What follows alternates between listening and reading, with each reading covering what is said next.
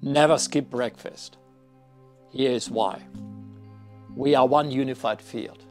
Of course, we got a physical form, but by our true nature, we are an energy field that is structured by meridians.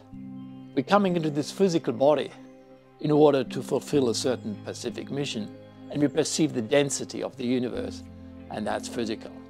However, in our nature, we are chi. And everything in this physical world is connected. Everything relates to each other.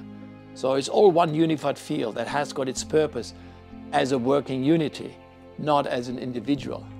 As soon as we separate from it, then we're experiencing all kind of symptoms and we're experiencing despair and we're experiencing all kind of disarray with our mission and we therefore feel alienated and separated.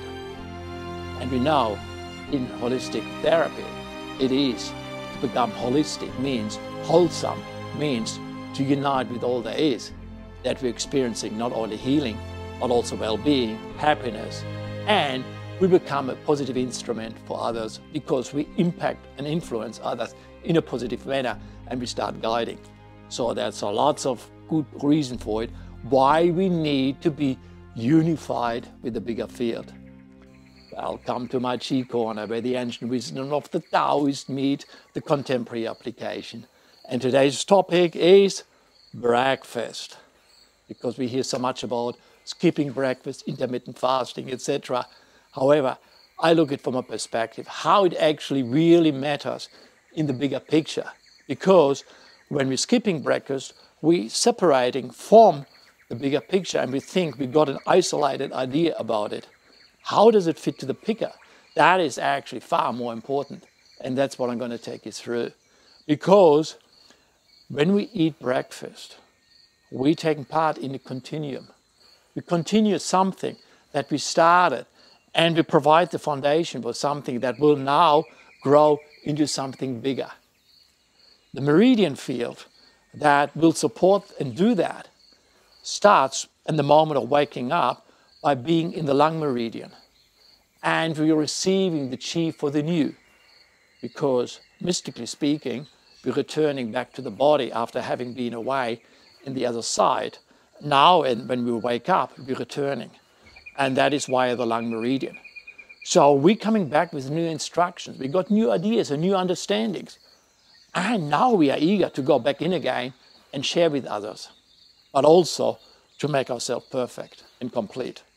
So that then, in the lung meridian, as we receive with the breath, then automatically now moves into the next meridian, which is the large intestine meridian. And that's the meridian of letting go. It's the detox meridian. That lets everything go to the bottom. And that's exactly the elimination phase. So after we receive the new, it's pushing out the old.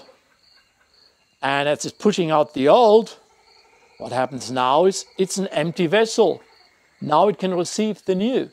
And what it now receives is the chi of the new, but in conjunction with the needs of the physical, because we need to produce here. We need to create. The physical means I create and our body is I create. And now, when we have breakfast, we now go into that same terminology with the same mantra I create. So that's actually the holy mantra for breakfast I create. So, as we now have the breakfast, what happens is now it will actually create the body as in conjunction with the bigger picture. What happens now in this moment is the meridian of the stomach that now moves to the spleen now is preparing the ground, the soil, for it then to blossom and for harvesting something big during the day. You're planting the ground, you're fertilizing the ground. So then later, all throughout the day, you're reaping the benefits of that what you are planting. So therefore, breakfast is about planting the idea that you are creating yourself. And from then on, it will start now blossoming because the meridian after the stomach time, after the stomach when we eat, now moves to the spleen. The spleen now makes all this soil fermentation, which we call blood in Chinese medicine. Then from then on, it moves to the heart And now it expresses itself in its glory. And from then it moves into the small intestine and it will be taken to the smaller particles. And then it collects itself in the bladder meridian and now settles itself into the ground. By that time, it is 5 p.m. So we have received a lot. And now it goes into the kidney and it unifies the balance of the yin and the yang before we go back to pericardium. And what happens now? We're getting ready to travel back into the other side of the world to receive the information for the next mission on the next day. So that's the sleep time. So, what happens here in this process around going back to bed is still part of what we created at breakfast time. Because to go into the sleep state, we need to have a very specific yin value. That yin value then allows us to switch off to go into this beautiful drifting away, and then together with that meridian called Sanjiao, it will now drift us and shift us and move us into the other world. However, that yin that we fertilized and fermented in the mornings during breakfast now will become available and will give us the push. So you could say, I have good breakfast so that I can sleep sound. How that sounds. you actually treat insomnia at the time at breakfast. As you probably noticed, you can't treat insomnia when you can't sleep, it's too late. Therefore, breakfast looks at everything what happens throughout the day and everything what we just construct throughout the day is in fact essential for health and well-being. And that is the process of the breakfast. So once again, the fermentation, how is this process working? When we wake up, the soul returns via the lung meridian. It now takes all that information to the body. We're doing the breath work. We're receiving the new, we're feeling the bliss of the divine love, and we're merging with divine love. We're realizing that we are divine love in our nature. And then this bliss of the breath moving through the body. Now we're getting into the creation of the body. So we do the exercise, we're working with core training, we're working with TRX, we're working with Tai Chi, we're working with weights, we're working with anything in order to create this body because we are here to create and the body is I create. And then when we finish it, we have letting go of all that old because the new that has come in has replaced and completely eliminated the old from the previous day. We don't have any of this emotional jargon or any form of that emotional junk from the previous day. The new has come in through the exercise, we created it. And now we're one with all there is. And now we're sitting down to have a beautiful, warm, nourishing, cooked breakfast. And we're sitting down to have that breakfast with that mantra I create. And we see the fertilization of that soil that is now blossoming because it's stomach time while we eat and we can see how it's moving up. And the foods that we eat in the mornings, we have that what makes life spring forward. And that is simply good seeds with good grain. So the breakfast that fits into this category of I create is made out of grain and seeds. So there's various forms of grain. So my favorite are the oats. Other people like the quinoa. Other people like barley. So you need to experiment what works with you. There are so many different options. So we're looking at about eight different grains to experiment with. You can even blend them with.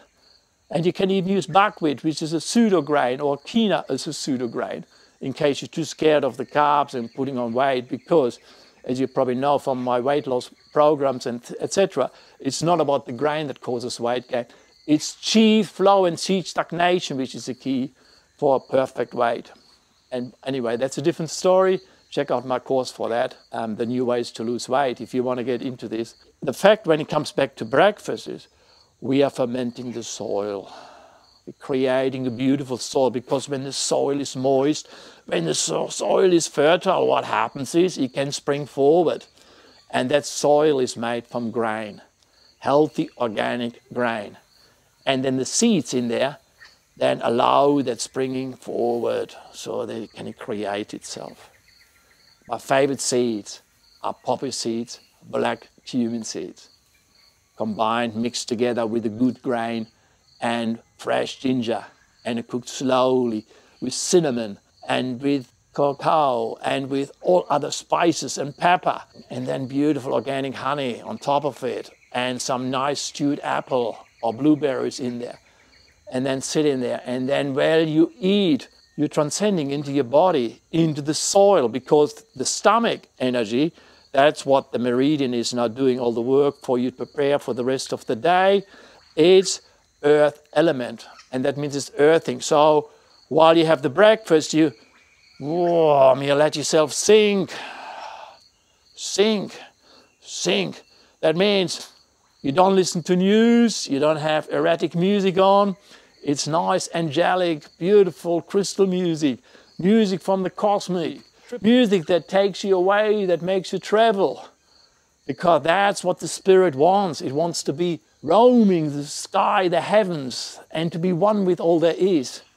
And then the chi that returns while it's in stomach time, the earth elements now fermenting the soil and the seeds and the grain together with your perception of being one with all there is, and then eating in peace.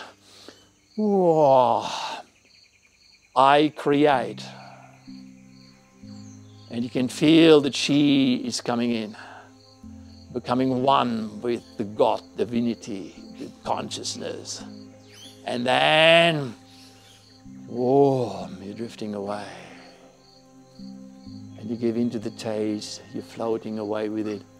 And then you sit back for a while. And then slowly you can feel the energies coming up. Because now the next meridian, the, spleen meridian, now is activated. And now it says, ready for work. And that's exactly what's happening now. You feel ready to create because this is the whole purpose of breakfast. I create. I create as in accord with what I receive. I create as in accord with the unified field. I create as in conjunction with the bigger picture. That means I am part of the bigger, but I'm contributing to the bigger by being this little part here that then becomes part of the bigger. And a good breakfast also creates strong body. Good breakfast means good muscles, Good muscles means execution of your ideas. And following up on your ideas means you're happy. And if you're happy, you're healthy. And if you're healthy, you impact on others.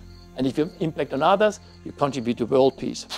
So therefore, we don't skip breakfast because we create